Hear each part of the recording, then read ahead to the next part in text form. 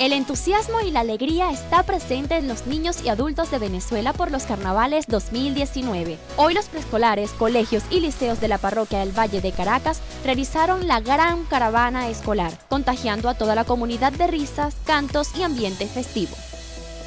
Los invito a todos a disfrutar estos carnavales de 2019. Espero que este carnaval sea el mejor para los niños y niñas del mundo. Y espero para el carnaval paz y que todos los niños lo disfruten. A estos carnavales espero felicidad, amor, paz, que nos amemos, que nos apoyemos. Que compartan en familia, que disfruten.